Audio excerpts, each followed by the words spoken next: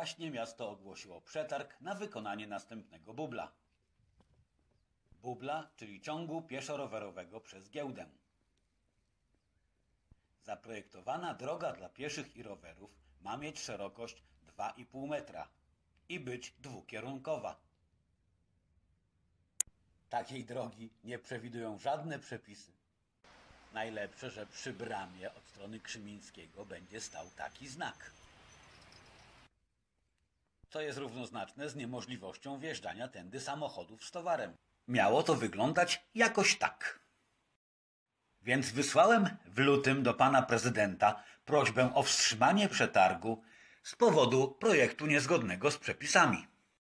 Do dziś nie otrzymałem żadnej odpowiedzi, ale postanowiłem zajrzeć, co tam słychać z tym przetargiem. Okazuje się, że wzięto pod uwagę moje sugestie i zmieniono projekt. Jak zwykle po cichu. Słowa dziękuję, to ja się nigdy w tym mieście nie doczekam.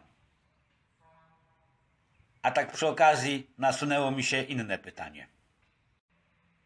Po co w przetargu jednym z ocenianych kryteriów jest termin wykonania, skoro przetarg rozstrzygnięto w marcu, a do dziś, jak widać, nic się tutaj nie dzieje?